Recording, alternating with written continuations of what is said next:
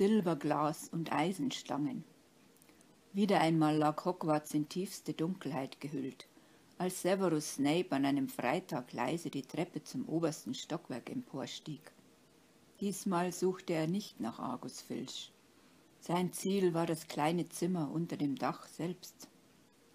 Peinlichst genau achtete Severus darauf, dass keine Menschenseele ihm folgte. Nicht einmal eines der vielen Porträts sollte ahnen können, wohin er ging. Die Vorstellung, dass auch nur einer hinter sein Geheimnis kommen könnte, war Snape unendlich peinlich.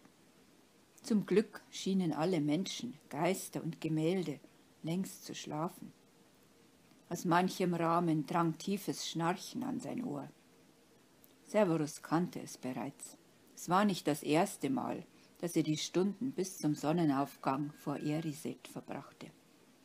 Nachts war einfach die beste Zeit, um ungestört den Spiegel aufzusuchen. Niemand würde ihn um diese Uhrzeit suchen. Endlich hatte Snape das kleine Zimmer erreicht. Die Sterne funkelten am schwarzen Horizont, als er über die Türschwelle trat. Koloportus, flüsterte er leise, und die Fensterläden schlossen sich. Lumus. Im fahlen Licht des Zauberstabs trat Severus vor den Spiegel und blickte wieder in das geliebte Gesicht. Endlich war er mit sich und seinem Traum von Lilly alleine. Schwach sank er vor dem Silberglas auf die Knie, und ein Bach von Tränen stürzte aus seinen dunklen Augen hernieder, als er in die Grünen blickte. Hier war der einzige Ort außerhalb seines Schlafzimmers, an dem sich Snape gestattete, um Lilly zu weinen. Er ahnte nicht, dass er in dieser Nacht beobachtet wurde. Hinter Severus, in einigem Abstand zu ihm, stand ein Mann, durch einen mächtigen Desillusionierungszauber völlig mit der Umgebung verschmolzen.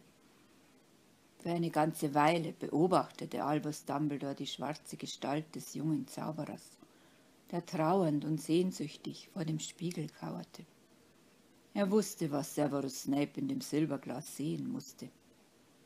Ein Bild ähnlich dem, in das auch er blickte, wenn er Eriset betrachtete. Das Gesicht eines geliebten Menschen, der verstorben war. Dumbledore war seinem jüngsten Lehrer nicht unwissend gefolgt. Er hatte geahnt, wo Severus Snape seine Nächte verbrachte. Seitdem Peeves einen Monat zuvor im Schulleiterbüro Scherze über ein schwarzes Phantom riss, das nachts das Treppenhaus zum obersten Stockwerk unsicher machte. Dumbledore hatte dem Poltergeist mit Nachdruck verboten, irgendwem, ob Geist, Mensch oder Hauself, davon zu berichten, und war dann leise seufzend in seinen Sessel zurückgesunken. Allmählich begann Albus sich Sorgen um Severus zu machen. Er hatte gehofft, dass der junge Mann sich dem Leben wieder öffnen würde wenn er sich erst einmal in Hogwarts eingelebt hätte. Doch davon konnte keine Rede sein.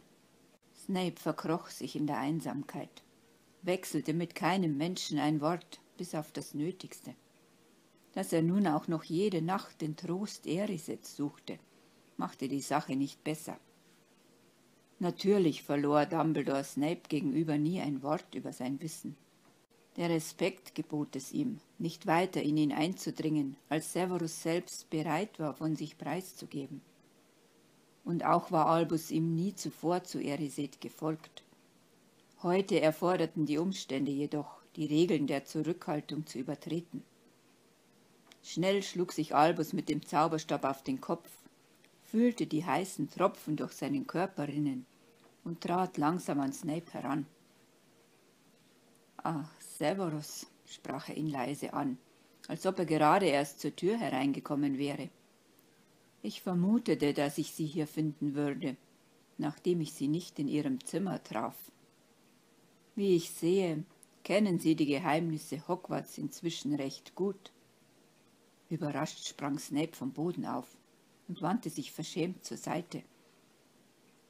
Pro Professor Dumbledore, was gibt es? Eigentlich hätte ich das lieber in Ihrem Büro besprochen, Severus, begann er zu erklären.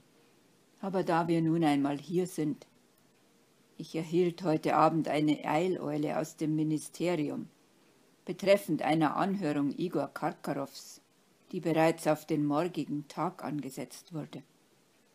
Er erhofft sich eine Strafmilderung, indem er dem Zauberer Gamot bisher unbekannte Todesser nennt. Das Ministerium war so freundlich, mir die Namen vor der Verhandlung mitzuteilen. Darunter war auch ihrer. Es erschien mir notwendig, sie darüber zu informieren. Erschrocken blickte Snape Dumbledore mitten ins Gesicht. Sie wollen doch nicht etwa, fragte er ängstlich. Dumbledore erhob seine Hand und gebot ihm zu schweigen. Als ich sie nach Hogwarts holte und sie mir ihr Wort gaben, mir zu helfen, Harry Potter zu beschützen, er warf Snape über die Ränder seiner Halbmondglasbrille hinweg einen tiefen Blick zu. Sicherte ich ihnen meinen Schutz zu. Ich pflege mich an mein Wort zu halten. Allerdings kann ich Ihnen keine Garantie aussprechen. Snape ließ die Schultern hängen und sank vor Dumbledore auf einen Stuhl nieder. Sie meinen also, dass, fragte er leise, die Chancen für Sie gut stehen, ja, ergänzte Dumbledore. Der junge Mann blickte ihn unsicher an, als könne er Dumbledores Worten noch immer nicht trauen. Albus lächelte jedoch. Seien Sie unbesorgt, Severus, sprach er beruhigend auf den jungen Mann ein. Solange der Zauberer Gamot Wert auf mein Wort legt, glaube ich nicht, dass man sie nach Azkaban schicken wird. Snape murmelte ein leises Dankeschön, doch Dumbledore schien es nicht zu beachten.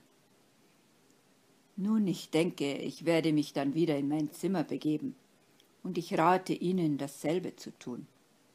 Eriset bietet Verführungen, die das Leben über den Traum vergessen lassen. Sie sollten sich ihren Schülern, ihrer Arbeit und um diese Uhrzeit einem gesunden Schlaf widmen.